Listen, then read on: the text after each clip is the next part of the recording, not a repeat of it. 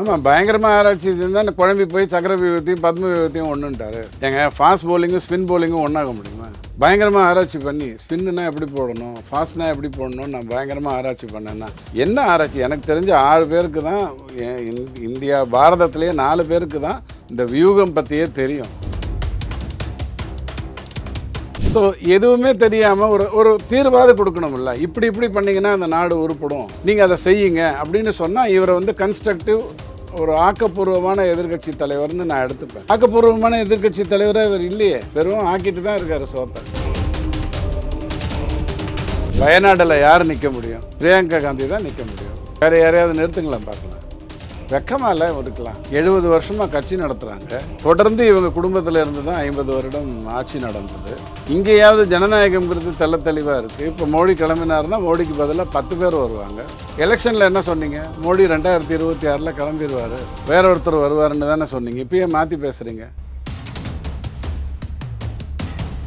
So இந்த சோரஸுங்கிற ஒரு மனிதன் எல்லாத்தையுமே கெடுக்கிறதுக்காகவே எங்கெங்கெல்லாம் ஜனநாயகம் இருக்கோ அதை எல்லாத்தையும் கெடுக்கணுங்கிறது தான் அவனுடைய நோக்கமாகவே இருக்கு. எதனால் அப்படின்னா எந்த நாடும் உருப்பிடக்கூடாது. உருப்பிட்டுச்சுன்னா அது இவனுக்கு ஆபத்தாகுது. அது எல்லாமே தத்தளிக்கணும். அதுதான் அவனுடைய நோக்கமாக இருக்கும்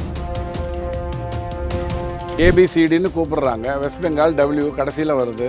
நான் சீக்கிரம் போகணுன்றாங்க சரின்னு டைம் கொடுக்குறாங்க. ஏழு நிமிடம் ஆறரை நிமிடம் ஆறே முக்கால் நிமிடம் ஆறே கால் நிமிடம்னு காட்டிக்கிட்டே வருது. கடைசியாக ஒரு புள்ளி வந்த உடனே இவங்க வந்து கிளம்பி போயிட்டாங்க. ஏன்னா ஃப்ளைட்டை பிடிக்கணும். ஆனால் அவங்களுடைய செக்ரட்டரிஸ் அங்கே தான் உட்காந்துருந்தாங்க அவங்க யாரும் கிளம்பி போகலையே. தலைவி போயிட்டாங்கன்னு உடனே அவங்களாம் கிளம்பி போனாங்களா? இல்லை அவங்க ஃப்ளைட்டை பிடிக்கிறதுக்காக கிளம்பி போனாங்க. இவ்வளவு தானே வேற என்ன இருக்குது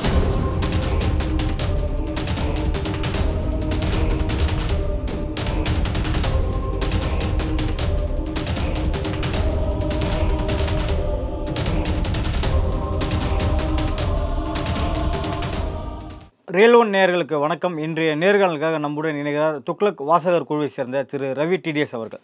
வணக்கம் சார். வணக்கம். கடந்த முறை ராகுல் காந்தி அவர்கள் பேசும்போது கடவுள் சிவன் படத்தை காமிச்சு பிஜேபியை வந்து விமர்சனம் செஞ்சிருந்தார். இப்போ கொஞ்சம் மாற்றி மகாபாரதத்தில் குருஷேத்திர போரை மையப்படுத்தி மேற்கோள் காட்டி பிஜேபியை வந்து விமர்சனம் பண்ணியிருக்காரு. அதாவது தாமரை சக்கர வியூகத்தில் இந்திய நாடே சிக்கியிருக்கு. அப்படின்னு சொல்லியிருக்காரு. இந்த சர்க்கரை வியூகத்தில் உண்டான தாமரையை தான் பிரதமர் மோடி தனது மார்பில் லோகோவாக போட்டிருக்காரு அப்படின்னு சொல்லியிருக்காரு. இது எப்படி பார்க்குறீங்க சார்? அதாவது தேர்தலுக்கு வரைக்கும் இஸ்லாத்தவர்களை கவர்ந்தாலே போகிறோம் நம்ம ஜெயிச்சிடலான்னு நினச்சி அட்டையெல்லாம் கொடுத்து ஒரு லட்சம் கொடுப்பேன்னு சொல்லி முயற்சி பண்ணி கடைசியில் அதனால் வெறும் தொண்ணூத்தொம்பது சீட்டு தான் வந்ததுன்னு தெரிஞ்ச உடனே இப்போ ஹிந்துன்னு பேசுவோம். சிவான்னு சொல்லுவோம். விஷ்ணுன்னு சொல்லுவோம். விஷ்ணு சொல்ல மாட்டேங்கிறாரு. அப்படிங்கிற மாதிரி போகிறார் பாவம் கிளிப்பில்லை சொல்லி கொடுக்குறத அவர் சொல்லுவார். அதுக்கு மேலே வேறு எதுவும் கிடையாது. சொல்லி கொடுக்குறவங்க யார்? இப்போ கமலஹாசனாக இருந்தால் என்ன ஆகும்? சொல்லி கொடுத்தது கமலஹாசனாக இருந்தால் ஏராமில் எப்படி சொரப்பினாரோ அந்த மாதிரி அவர் சொரப்ப போகிறார் சக்கர வியூகம் வேறு பத்ம யூகம் வேறு. சக்கர வியூகம் எப்படி இருக்கும்னா நீங்கள் சின்ன வயசில் ரவுண்ட் ரவுண்டாக இருக்கும். அதில் ஒரு பால் உள்ளே இருக்கும். அதை வெளியில் எடுக்கிறதுக்கு முயற்சி பண்ணுவீங்க. அந்த விளையாட்டு தெரியுமா? ரவுண்ட் ரவுண்டாக இருக்கும். அதுவே ஒரு குறிப்பிட்ட இடத்துல போய் சேர்க்கணும் கடைசி. ஆ. ஒரு மையத்தில். ஆ அதுதான் சக்கர வியூகம். அதில் வந்து ஆறு லேயர் இருக்கும். இவர் என்ன பண்ணார்? சக்கர வியூகத்தை சொல்லிட்டா லோட்டஸை கொண்டு வர முடியாதுன்னு உணர்ச்சி வசப்பட்டு பத்ம வியூகத்துக்கு போயிட்டார். பத்ம வியூகம்ங்கிறது வந்து கசகச கசன்னு இருக்கும். அதை பற்றி ரொம்ப தெள்ள தெளிவாக தெரிஞ்சவங்க நாலே பேர் தான் மகாபாரதத்திலே. அந்த சக் பத்ம வியூகத்தை எப்படி செயல்படுத்தணும்னு தெரிஞ்சதே நாலே நாலு பேர் தான்.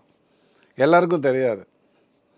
ஸோ இதெல்லாம் புரிஞ்சிக்காமல் அவர் மாட்டுக்கு ஏதோ பேசுவார் அதை நம்ம உட்காந்து விமர்சிக்கணும் அப்படின்னா கொஞ்சம் கஷ்டமாக இருக்குது பத்மவியூகம் அவர் ஏன் பேசினார்னா தாமரையோட ஒப்பிடுறதுக்காக பேசினார். தாமரையை வந்து மோடி ஐயா இன்றைக்கி தேதியில் அவர் நெஞ்சில் வைக்கல. எனக்கு தெரிஞ்சு பத எட்டு வயசுல இருந்தே அவர் ஆர்எஸ்எஸில் இருக்கார். அதற்கு பிறகு பிஜேபிக்கு வந்துட்டார்.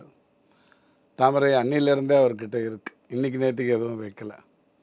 சரி இந்த நாடை வந்து இவங்க ஒரு பத்ம வியூகத்தில் ஆட்சி செய்கிறாங்க மக்களை வந்து அதில் அடிமைப்படுத்துகிறாங்க அப்படிங்கிறது தான் அவருடைய கருத்தாக இருந்ததுன்னா மக்களை எப்படி அடிமைப்படுத்தி ஆட்சி செய்ய முடியும்?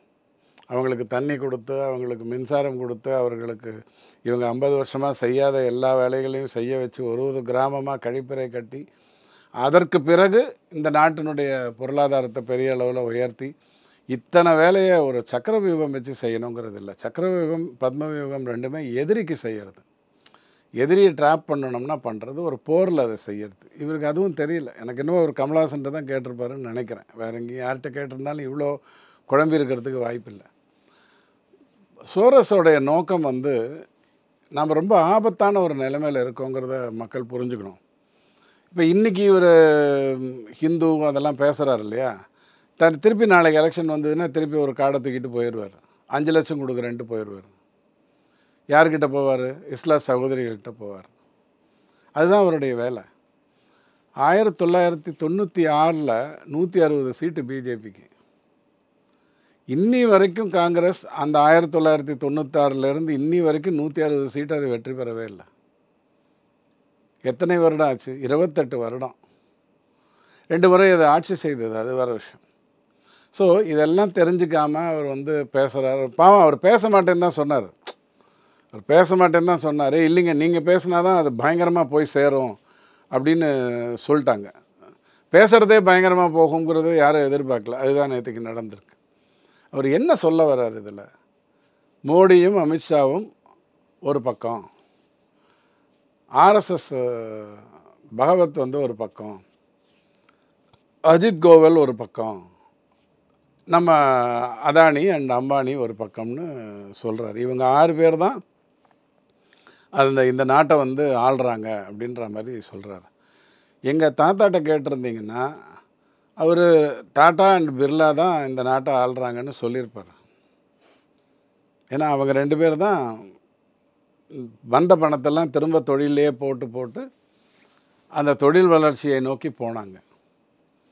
அப்படி தான் இன்றைக்கும் பிர்லா வந்து ஒரு பெரிய கம்பெனியாக இருக்குது ஆதித்ய பிர்லாங்கிற கம்பெனிலாம் இருக்குது டாட்டாவும் பெரிய கம்பெனியாக இருந்துக்கிட்டு வருது.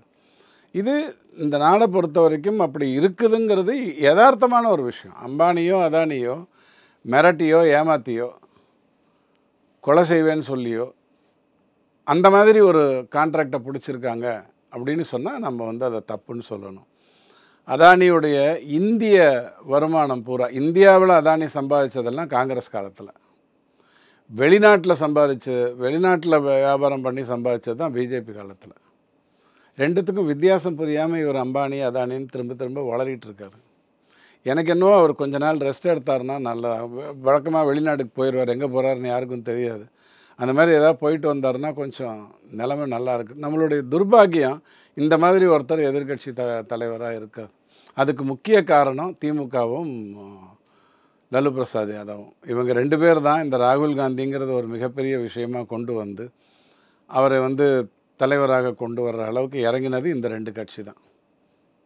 என்னை பொறுத்த வரைக்கும் இப்போ வியூகத்தை பற்றி அவருக்கு புரிஞ்சிக்க முடியல அப்படின்னீங்க. ஆனால் பார்த்தா அந்த வியூகம் வந்து நான் வந்து ஆராய்ச்சி செஞ்சேன் அப்படின்னு தான் அவர் சொல்லியிருக்காரு. ஆமாம் பயங்கரமாக ஆராய்ச்சி செஞ்சால் குழம்பி போய் சக்கர வியூகத்தையும் பத்ம வியூகத்தையும் ஒன்றுன்ட்டாரு எங்க ஃபாஸ்ட் பவுலிங்கும் ஸ்பின் பவுலிங்கும் ஒன்றாக முடியுமா? பயங்கரமாக ஆராய்ச்சி பண்ணி ஸ்பின்னுனா எப்படி போடணும் ஃபாஸ்ட்னா எப்படி போடணும் நான் பயங்கரமாக ஆராய்ச்சி பண்ணேன்னா என்ன ஆராய்ச்சி? எனக்கு தெரிஞ்ச ஆறு பேருக்கு தான் இந்தியா பாரதத்திலேயே நாலு பேருக்கு தான் இந்த வியூகம் பற்றியே தெரியும். அவங்க எதையுமே உங்களுக்கு மகாபாரதத்தில் அதை சொல்லலை. அவங்க எப்படி சொன்னாங்க அப்படின்னா இப்படி இப்படி அந்த போர் நடந்தது இப்படி இப்படி அங்கே ஆளை கொண்டு வந்தாங்க இப்படி நாம் வந்து ட்ராப் பண்ணோம் அப்படின்னு தான் உங்களுக்கு சொன்னாங்களே ஒழிய வேறு இவர் எங்கே போய் ஆராய்ச்சி பண்ணாருன்னு எனக்கு சத்தியமாக தெரியல. கமலஹாசன் தான் அந்த மாதிரியான ஆராய்ச்சியெல்லாம் பயங்கரமாக பண்ணுவார் எனக்கு தெரிஞ்சு. நேற்று நாடாளுமன்றத்தில் ராகுல் காந்தி அது பேசிய விதம் ஒரு நல்ல வலிமையான எதிர்க்கட்சி தலைவராக நடந்துக்கிட்டாரு அப்படின்னு. பேச விட்டுருக்கிறது ஜனநாயகம். பேசியிருக்கிறது ஜனநாயகம். இதனால் எந்த பாதிப்பும் வரப்போகிறதில்ல அப்படிங்கிறது தான் அவலம். இதனால் என்ன வரப்போகுது? இந்த தொழில் நசிந்திருக்கு. அதுக்கு நீங்கள் காரணம். இந்த கான்ட்ராக்டர்ஸ் எல்லாம் நசிந்திருக்காங்க. அதுக்கு இந்த ரெண்டு பேர் காரணம். அம்பானியும் அதானியும் காரணம். இந்த தொழிலில் யாரும் வர முடியாமல் இருக்குது அதுக்கு இவங்கெல்லாம் காரணம். அஜித் கோயல் எங்கேருந்து ஆறு பேர் லிஸ்ட்டில் வர்றாரு அஜித் கோயல் எங்கே முதல்ல வந்தார்? யாருடைய ஆட்சியில் முதல்ல வந்தார்? அதுவாக தெரிய வேண்டாமா? ஒரு அரசு அதிகாரி அவர் வந்து ஒரு கட்டத்தில் இருந்து பதவி உயர் பெற்று வராரு. மன்மோகன் சிங் ஐயா வந்த உடனே அவருடைய பதவியை வந்து ரெண்டாக உடைக்கிறாரு. அஜித் கோயல் ரெண்டாக உடைக்கிறாரு. அஜித் கோயல் பதவியை ரெண்டாக உடைக்கிறாரு. அதற்கு பிறகு திரும்ப வந்து அந்த இது வந்திருக்கு. அஜித் கோயலை வச்சுட்டு நீங்கள் என்ன பண்ணுவீங்க? சோரஸை அடித்து தள்ளுறது அஜித் கோயல். அதுதான் எனக்கு தெரியும். ஸோ எதுவுமே தெரியாமல் ஒரு ஒரு தீர்வாது கொடுக்கணும்ல. இப்படி இப்படி பண்ணிங்கன்னா அந்த நாடு உருப்படும். நீங்கள் அதை செய்யுங்க அப்படின்னு சொன்னால் இவரை வந்து கன்ஸ்ட்ரக்டிவ் ஒரு ஆக்கப்பூர்வமான எதிர்க்கட்சி தலைவர்னு நான் எடுத்துப்பேன். ஆக்கப்பூர்வமான எதிர்க்கட்சி தலைவராக இவர் இல்லையே. வெறும் ஆக்கிட்டு தான் இருக்காரு சோத்தை. பாஜகவில் ஒருத்தர் மட்டும்தான் பிரதமர் ஆக முடியுன்ற கனவை காண முடியும். இதே டிஃபென்ஸ் மினிஸ்டர் மட்டும் ஆகலான்னு பண்ணால் அவருக்கு பிரச்சனை ஏற்படும். ஸோ பிரச்சனை வந்து டீப்லி இங்கே ஆட போயிட்டே இருக்குது. எல்லாருக்கும் ஒரு பிர- பயம் மட்டும்தான் இங்கே அதை பற்றி இவருக்கு என்ன கவலை? வயநாட்டில் யார் நிற்க முடியும்? பிரியங்கா காந்தி தான் நிற்க முடியும். வேறு யாரையாவது நிறுத்துங்களேன் பார்க்கலாம். வெக்கமாக இல்லை இருக்கலாம் எழுபது வருஷமாக கட்சி நடத்துகிறாங்க தொடர்ந்து இவங்க குடும்பத்தில் இருந்து தான் ஐம்பது வருடம் ஆட்சி நடந்தது. இங்கேயாவது ஜனநாயகம்ங்கிறது தெள்ள தெளிவாக இருக்குது இப்போ மோடி கிளம்பினாருன்னா மோடிக்கு பதிலாக பத்து பேர் வருவாங்க.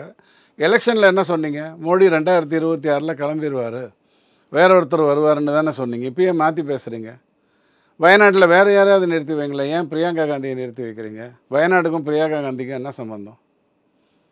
சி இவங்கெல்லாம் நியாயம் பேசுறது தான் ரொம்ப மோசமாக இருக்குது கேவலமாக இருக்குது வயநாடு வந்து அண்ணனோட தொகுதி ஸோ அதனால் அங்கே நிற்கிறாங்க அண்ணன் தொகுதி தங்க தங்க நின்றுச்சுன்னா அதுதான் ஜனநாயகமா. அண்ணன் தொகுதியை தங்க பார்த்துக்குச்சுன்னா அது ஜனநாயகம். அந்த தொகுதியில் நீ நிற்கலனாலும் பரவாயில்ல அங்கே யாரோ சுரேந்தரையோ அல்லது கிருஷ்ணசாமியோ நிறுத்தி வை. அந்த தொகுதி நீ இருந்தால் எப்படி பார்த்துப்பியோ அப்படி நான் பார்த்துக்கிறேன் அப்படின்னு சொன்னால் அது வந்து நியாயமான ஒரு விஷயம்.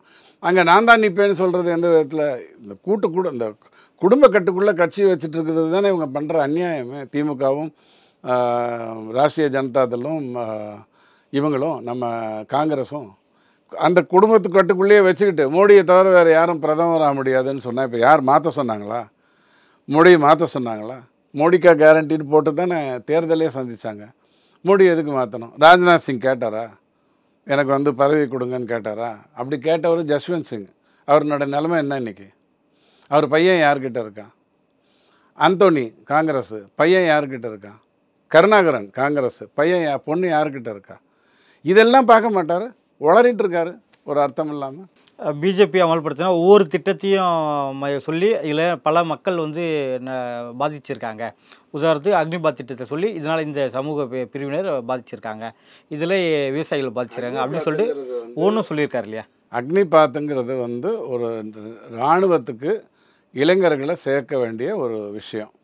பதினாறுலேருந்து இருபத்தோரு வரைக்கும் சேர்க்க வேண்டிய ஒரு சாதாரணமான ஒரு விஷயம். அப்படி சேர்த்தால் இளைஞர்கள் நிறைய பேர் இந்த நாட்டுக்கு சேவை செய்யணும்னு வருவாங்க.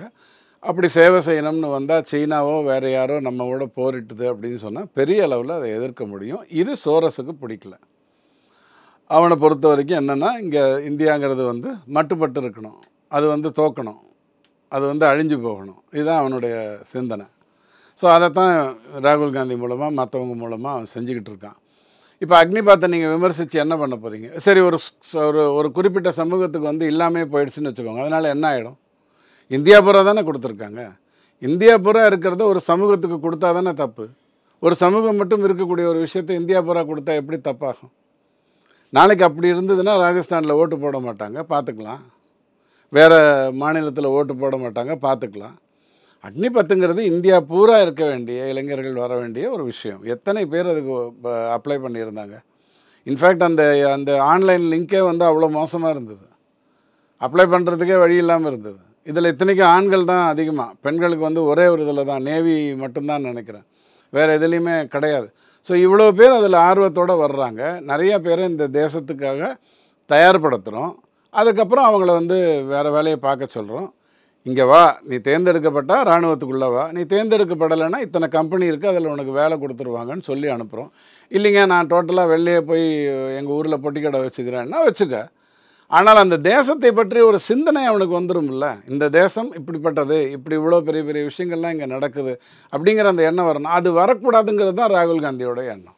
சோரஸ்ன்றது யாரு? அவர் சொல்ற திட்டங்களை ஏன் இவர் எக்ஸிக்யூட் பண்ணுவார் உலகம் பூரா எப்போதுமே நம்ம டாஸ்மாக் வர்றதுக்கு முன்னாடி தமிழ்நாட்டில் வந்து ஒரு பத்து சாராய அதிபர்கள் தான் ஆட்சி செய்துட்டு இருந்தாங்க. அவங்க அதிமுக திமுக ரெண்டுத்துலேயுமே இருப்பாங்க. அவங்க தான் காசு நிறையா வச்சுருப்பாங்க. ஏன்னா நூறு பாட்டில் விற்றா பத்து பாட்டில் தான் கணக்கு காட்டினாங்க. தொண்ணூறு பாட்டிலுக்கான காசு அவங்கக்கிட்ட தான் இருக்கும். ஸோ அவங்களுடைய பேச்சை கேட்டு தான் எதுவுமே நடக்கும். ஒரு பக்கம். உலக அளவில் அதே பார்த்திங்கன்னா அணு ஆயுதம் வச்சிருக்கிறவன் சொல்கிறத தான் உலகம் கேட்கும் இல்லைன்னா உங்களுக்கான எதிர்நாட்டுக்கு அணு ஆயுதத்தை கொடுத்துருவாங்க உங்களோட போரிடுவாங்க உங்களை ஒரு வழி பண்ணி விட்டுருவாங்க. இதெல்லாம் இதையெல்லாம் கரெக்டாக மேனேஜ் பண்ணுற ஒரு நாலஞ்சு பேரில் ஒருத்தர் இந்த சோரஸ். இப்போ அமெரிக்காவில் ஹாரிஸ் வரவங்க ஜெயிக்க போகிறாங்க அப்படிங்கிற மாதிரி சொன்னீங்கன்னா ஹாரிஸ் வந்து சோரஸோடைய மிகப்பெரிய நட்பில் இருக்கிறவங்க. ஸோ இந்த சோரஸுங்கிற ஒரு மனிதன் எல்லாத்தையுமே கெடுக்கிறதுக்காக எங்கெங்கெல்லாம் ஜனநாயகம் இருக்கோ அதை எல்லாத்தையும் கெடுக்கணுங்கிறது தான் அவனுடைய நோக்கமாகவே இருக்குது எதனால் அப்படின்னா எந்த நாடும் உருப்படக்கூடாது. உருட்டுருச்சுன்னா அது இவனுக்கு ஆபத்தாகுது. அது எல்லாமே தத்தளிக்கணும். அதுதான் அவனுடைய நோக்கமாக இருக்குது இப்போ பார்த்தீங்கன்னா இந்த பட்ஜெட்டில் எந்த பயனுமே இல்லை. விவசாயிகள் முதல் சிறு குறு தொழிலாளர்கள் தொழிலாளர்கள் வரை இதில் பா பாதிக்கிறாங்க. ஒர்க்கர்ஸும் பாதிக்கிறாங்க அப்படின்னு சொல்லிட்டு விமர்சனம் பண்ணியிருக்காரு. மூணு விஷயம் பாருங்கள் அதை நீங்களே ஒத்துப்பீங்க. ஒன்று ஃபிஸ்கல் டெபிசிட்டை வந்து ஐந்து சதவீதத்துக்கு கம்மியாக கொண்டு வந்திருக்காங்க. அது மிகப்பெரிய விஷயமா இல்லையா? இப்போ தமிழ்நாட்டில் ஃபிஸ்கல் டெபிசிட்டை எவ்வளோ கொண்டு வந்திருப்பாங்க? மூணு லட்சம் கடன் வாங்கிட்டு எதில் கொண்டு வந்திருப்பாங்க? அது நம்பர் ஒன் ரெண்டாவது இன்கம் டேக்ஸ் வந்து மன்மோகன் சிங் ஐயா காலத்தில் நீங்கள் பதினெட்டாயிரம் ரூபா கட்டிகிட்டு இருந்தீங்கன்னா இப்போ ஜீரோ அறுபத்தாறாயிரம் கட்டிகிட்டு இருந்தீங்கன்னா இப்போ பதினெட்டாயிரம். ஒரு லட்சத்து இருபதாயிரம் கட்டிகிட்டு இருந்தீங்கன்னா இப்போ அறுபதாயிரம். ஸோ இன்கம் டேக்ஸினுடைய தனிநபர் வருமானத்தினுடைய இது வந்து குறைஞ்சிருக்கு. இது தனி இன்கம் டேக்ஸுங்கிற அந்த வட்டத்துக்குள்ளே வரக்கூடிய ஒரு எட்டு கோடி பேர். அந்த எட்டு கோடி பேரில் அஞ்சு கோடி பேர் நில் ரிட்டன் தான் சப்மிட் பண்ணுறாங்க அது வேறு விஷயம். மூணாவது ரொம்ப முக்கியமான ஒரு விஷயம். நாட்டுக்கு பர்டிகுலராக தேவையான இன் இண்டஸ்ட்ரியல் காரிடார்ஸ் எங்கெங்கெல்லாம் வந்து ரோடு வந்து பெரிய அளவில் கொண்டு வரணுமோ அதற்கு நிதி ஒதுக்கீடு தெளிவாக நடந்திருக்கு. கிட்டத்தட்ட நாற்பத்தி ஒம்பது லட்சம் கோடியை வந்து மேனேஜ் பண்ணி உங்கள் கையில் கொடுத்துருக்காங்க. இதில் எங்கே தவறு வந்தது? இதில் யாரை வச்சுட்டு எதை வச்சுட்டு நீங்கள் தப்புன்னு சொல்லுவீங்க ம முன்னாடி மத்திய அரசை பொறுத்த வரைக்கும் எக்ஸைஸ் டியூட்டி தான் அதிகமாக வரும். அப்போல்லாம் கஸ்டம்ஸு எக்ஸைஸ் டியூட்டின்னு இருக்கும். இந்த ஜிஎஸ்டி வந்ததுக்கப்புறம் தான் அதெல்லாம் வழக்கொழிஞ்சு போய் ஒன்று ரெண்டில் மட்டும்தான் அது இருக்குது. சாராயத்துலேயும் அது இருக்குது. இன்றைக்கி ஐடி தான் முக்கியமான பணம் வர்றதை. அதுலேயே அவங்க குறைச்சிருக்காங்க. கார்ப்பரேட் டேக்ஸை பற்றி நான் ஏற்கனவே உங்களுக்கு சொல்லியிருக்கேன். ஐம்பது பர்சன்ட்லேருந்து நாற்பத்தைந்து பர்சன்ட் குறைக்கிறதுனால இருக்கக்கூடிய மிகப்பெரிய லாபம். நீங்கள் இன்னொரு ஐந்து பர்சன்ட் சேர்த்திங்கன்னா அவன் விலையில் சேர்த்துருவான். பொருள் அவன் எந்த பொருள் விற்கிறானோ அந்த பொருளில் ஐந்து பர்சன்ட் அவன் சேர்த்துருவான். நஷ்டப்பட போகிறது யார்? வாங்குகிற நாம். அதுக்கு பதிலாக அந்த கார்ப்பரேட்டை நடத்துகிற அந்த டைரக்டர்ஸோடைய டிவிடெண்ட் டேக்ஸு இந்த லாபம் வருது இல்லையா? அந்த தொழில் நடத்துறதுனால அவங்களுக்கு லாபம் வருது. அப்போ அந்த கம்பெனி அவனுக்கு டிவிடெண்ட் கொடுக்கும் இல்லையா? அந்த டிவிடெண்ட் டேக்ஸை கசகசன்னு ஏற்றி விட்டாங்க.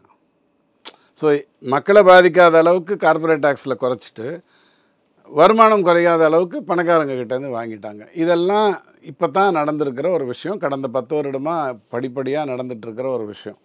பட்ஜெட்டுங்கிறது வந்து ரெண்டாயிரத்தி நாற்பத்தி ஏழை நோக்கி போயிட்டுருக்கு. அது கண்டிப்பாக இந்த வருஷம் தேர்தலில் ஜெயிக்கணும் மகாராஷ்டிராவில் ஜெயிக்கணும் ஜார்க்கண்டில் ஜெயிக்கணுங்கிறதுக்காக தயாரிக்கப்படலை. அதுவே மிகப்பெரிய விஷயம். ராகுல் காந்தி நேற்று பேசின பேசின பேச்சிலேருந்து அவர் இன்னும் வலிமையான தலைவராக முன்னெடுக்க வாய்ப்பு ஏதாவது இருக்கு? கண்டிப்பாக இருக்குது தொண்ணூத்தொம்போது அவருடைய சீட்டு இரநூத்தி முப்பத்தி ரெண்டு அவங்களுடைய மொத்த இருபத்தி மூணு கட்சியோடைய மொத்த சீட்டு. இப்போ மகாராஷ்டிரா ஜார்க்கண்ட் அண்டு இதில் வந்து ஹரியானாவில் தோத்துட்டாங்கன்னா அவங்களுடைய நிலைமை ரொம்ப மோசமாயிடும். ஸோ அது வரைக்கும் அவங்க பேசுகிறதுல எந்த தப்பும் இல்லை. அவர்களுடைய நோக்கம் தெள்ள தெளிவாக இருந்துச்சுன்னா அதாவது இந்தியா வளரணுங்கிற அடிப்படையில் அவர் வந்து பேசினாருன்னா கண்டிப்பாக அது வந்து பயன் ரெண்டாயிரத்தி இருபத்தொம்போதில் பிரதமர் வேட்பாளருக்கு தகுதியானவரா? இல்லை அவரை தான் வைப்பாங்க. வேறு யாரை வைப்பாங்க? திமுக வந்து வேறு யாரை த பிரதமர் வேட்பாளராக வைக்க இல்லை அந்த கட்சிக்கு அது ஓகே. ஆனால் இந்திய அளவில் பார்க்கும்போது மக்கள் பரவல அவர் தகுதியான தலைவராக இருப்பாரா? இந்த இதில் இந்த இருபத்தி மூணு கட்சி ஒருங்கிணைந்து திரும்பவும் சந்தித்தால் அவரை தான் வைப்பாங்க ஆனால் டிஎம்சி அதை மறுதளிக்குது. டிஎம்சி தெள்ள தெளிவாக மறுதளிக்குது. நீங்கள் நித்தி ஆயோக் போக மாட்டீங்கன்னா நான் வரேங்குது. ராகுல் காந்தியை பிரதமராக டிஎம்சி இன்னும் ஒத்துக்கிடலை. வாக் அவுட் பண்ணிட்டாங்களா இங்கேருந்து அது வேறு விஷயம். அவங்க அரசியல்வாதி அப்படியே தானே பண்ணுவாங்க. அவங்க அவங்க அவங்க சொன்னது எவ்வளோ பெரிய பொய்? ஏபிசிடின்னு கூப்பிடுறாங்க. வெஸ்ட் பெங்கால் டபிள்யூ கடைசியில் வருது. நான் சீக்கிரம் போகணுன்றாங்க சரின்னு டைம் கொடுக்குறாங்க. ஏழு நிமிடம் ஆறரை நிமிடம் ஆறே முக்கால் நிமிடம் ஆறே கால் நிமிடம்னு காட்டிக்கிட்டே வருது. கடைசியாக ஒரு புள்ளி வந்த உடனே இவங்க வந்து கிளம்பி போயிட்டாங்க. ஏன்னா ஃப்ளைட்டை பிடிக்கணும். ஆனால் அவங்களுடைய செக்ரட்டரிஸ் அங்கே தான் உட்காந்துருந்தாங்க அவங்க யாரும் கிளம்பி போகலையே. தலைவி போயிட்டாங்கன்னு உடனே அவங்களாம் கிளம்பி போனாங்களா? இல்லை அவங்க ஃப்ளைட்டை பிடிக்கிறதுக்காக கிளம்பி போனாங்க. இவ்வளோ தானே வேற என்ன இருக்குது ஆனால் அவங்க என்ன பண்ணியிருந்துருக்கலாம்? நான் இதெல்லாம் பேசணும்னு நினச்சேன். இதெல்லாம் பேசணும்னு நினைத்தேன். என்னுடைய மாநிலத்துக்காக நான் இதெல்லாம் பேசணும்னு நினச்சேன். அது வந்து இவங்க டைம் கொடுக்காதனால பேச முடியலன்னு ஒரு ச ஸ்டேட்மெண்ட் விட்டுருக்கலாம். விட்டாங்களா? அவங்க மாநிலத்து மேலே அக்கறை மைக் இருந்ததுன்னா ஆஃப் பண்ணிட்டாங்க. என்ன பேச விடல. அஞ்சு நிமிஷம் தான் கொடுத்தாங்க. நான் ஒத்துக்கிறேங்க. மைக் ஆஃப் பண்ணிட்டாங்க. உங்களை பேச விடலை. உங்களை ஏமாற்றிட்டாங்க உங்களை மதிக்கலை. ரொம்ப சந்தோஷம். நீங்கள் என்ன பேசணும்னு நினச்சிங்களோ அதை பத்திரிக்கையில் கொடுத்தீங்கன்னா அடுத்த நாள் பெருசாக வருமே. உங்கள் மாநிலத்துக்கு என்ன வேணும்னு கேட்டு நீங்கள் பேசியிருந்தீங்கன்னா பெரிய அளவில் வருமே. அதையும் செய்யலை. அப்போ உங்ககிட்ட மேட்டர் இல்லைங்கிறது தானே அர்த்தம். நான் சொல்ல புரியுதுங்களா? எனக்கு நேரம் கொடுத்துருந்தா நான் சூப்பராக ஒரு கதை எழுதுவேன். அப்படின்னு சொன்னால் எனக்கு நேரம் கொடுக்கல ஐயா நான் வெளில வந்துட்டேன். அந்த கதையை நான் அடுத்த ஸ்டூடியோக்கு எடுத்துகிட்டு போவேன்ல? அடுத்த ஸ்டுடியோக்கு எடுத்துகிட்டு போவோம்ல அந்த மாதிரி இவர் அந்த மாநிலத்துக்கு என்ன வேணுங்கிறத வந்து சொல்லியிருக்கலாமே. நான் இதெல்லாம் பேசணும்னு நினைத்தேன். என்கிட்ட சொல்லலை. என் டைம் கொடுக்கல. அப்படின்னு சொல்ல வேண்டியதானே வெஸ்ட் பெங்கால் பூரா அது வருமா இல்லையா? அவங்க கிட்ட சரக்கு இல்லை. அதான் பிரச்சனை. நடப்பு அரசியல் குறித்து பல்வேறு கருத்துக்களை பொறுத்த மிக மிக்க நன்றி சார். தேங்க்யூ